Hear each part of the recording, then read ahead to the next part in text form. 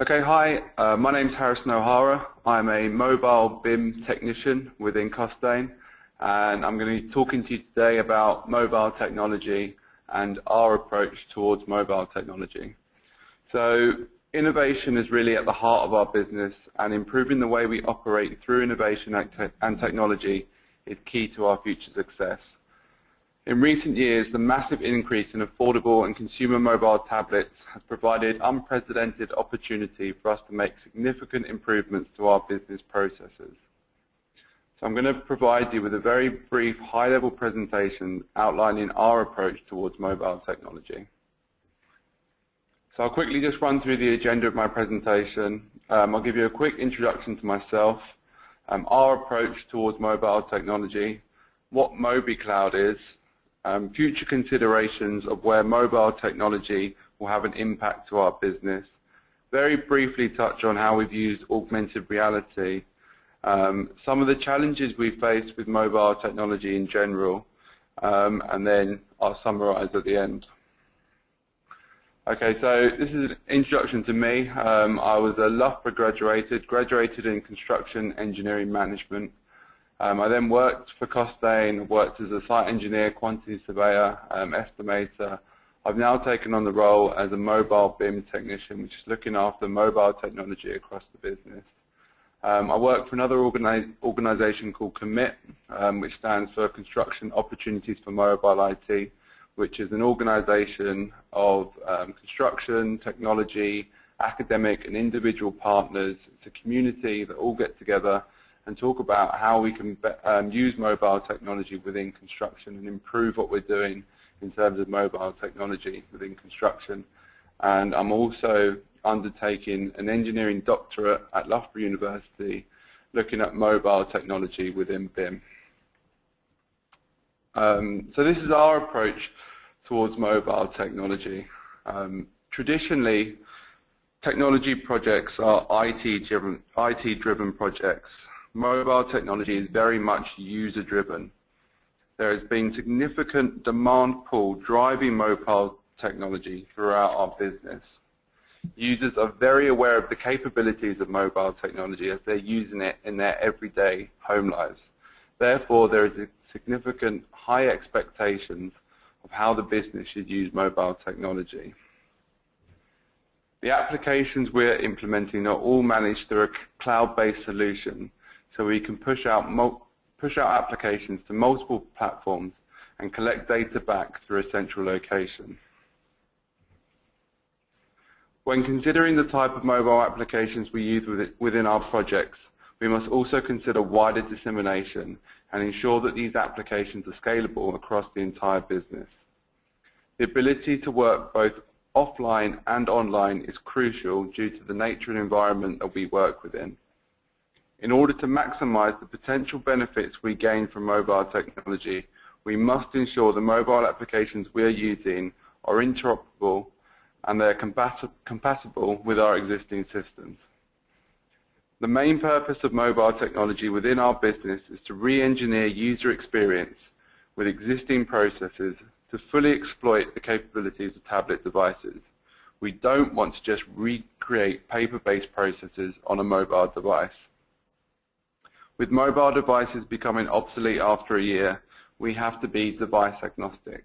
So forget about the device itself and concentrate on the software we're using behind the devices. So I'll talk to you now a bit about MobiCloud, which is our in-house platform for developing applications. Uh, this is a two-year EU-funded project, which is ending November this year. COMIT, the organization I spoke about earlier, um, are also a partner within this project and Appear is our uh, Swedish development company, which are actually physically developing the applications, and Costain, we're the construction arm of this consortium. And basically, this is a platform for developing uh, configurable, um, tailored, very specific construction need applications that we can then use throughout our business.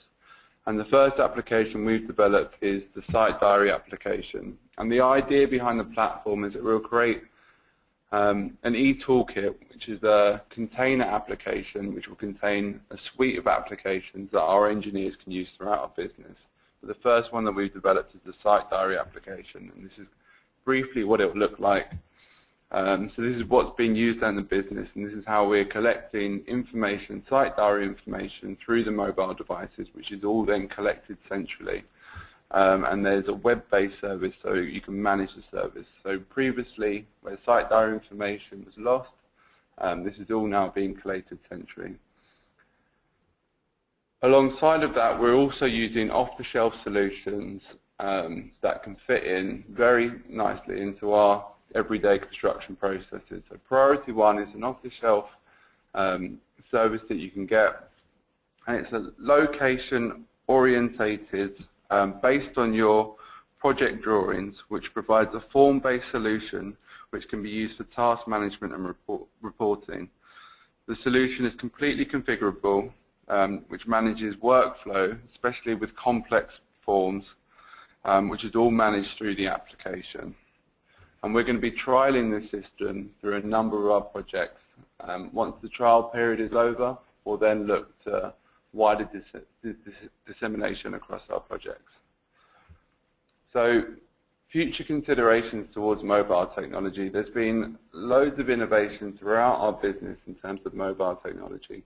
Um, lots of really great innovation, which we don't want to stifle, but we also need to control the mobile revolution that's currently happening within our business. We need to ensure that all the solutions that we implement are compatible with one another, and we need to have a standardized approach towards mobile implementation, ensuring we're maximizing the potential benefits.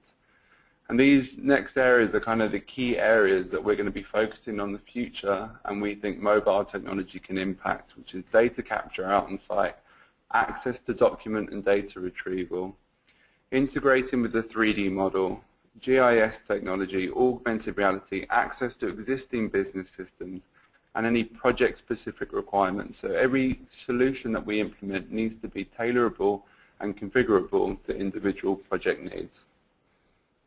So just briefly touch on our experience with augmented reality and how we've used that within the business. Um, London Bridge project, which is the photo in the top right, we used augmented reality to visualize the hoardings um, before the project actually went ahead. So we were able to demonstrate to both the client and to the emergency services that we weren't going to create any bottleneck situations with passengers or block any of the CCTV cameras. Um, the bottom two pictures is um, a visualization of the A465 scheme, and we used this as a public engagement piece. So we gave members of the public um, iPads, and they were able to come down and view the complete scheme to see how it was going to interact with their everyday lives. We've also done a proof of concept using augmented reality for maintenance, and we're also at the concept stage at Heathrow at Hammersmith project as well. Um, so it's a really interesting technology. It's just finding practical applications throughout our business. So the main challenges that we faced with mobile technology has really been threefold. It's people, process, and technology. Um, technology is probably seen as the lesser of the issue now because technology can more than meet the demands or the requirements that we have as a construction sector. Um, processes is a particular challenge because we've got a number of different processes that have all developed over decades and over large periods of time and it's how we completely re-engineer those processes to accommodate a tablet device.